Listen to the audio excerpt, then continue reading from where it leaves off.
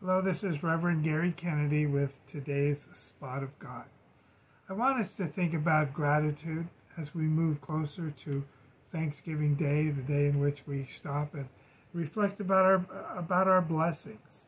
I remember as a boy uh, playing football with my cousins, and I've shared this many times that my mother would interrupt our football game and say, "Well, the church service is starting," and we never wanted to go, but she always said it's an opportunity for all of you to think about one thing for which you are really grateful for this year.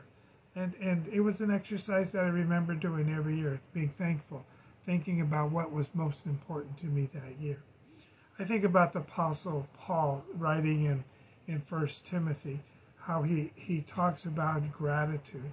And he was very grateful uh, to God uh, for God's mercy, for God's grace, because he came out of a background of being one who persecuted the Christian church, persecuted Christian people, and tried to disrupt the work of God until he had that moment where he encountered Christ himself and his life was radically changed and he became a member of the Christians rather than of those who were opposing the Christians.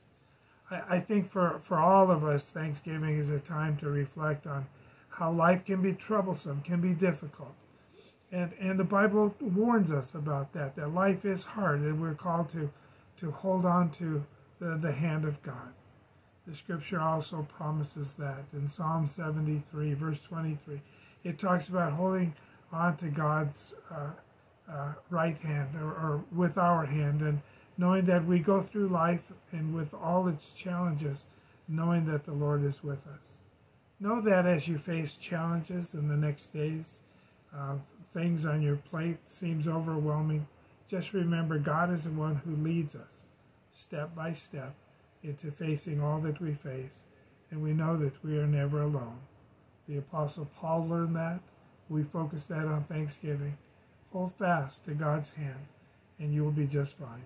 May God bless you, and uh, have a happy Thanksgiving.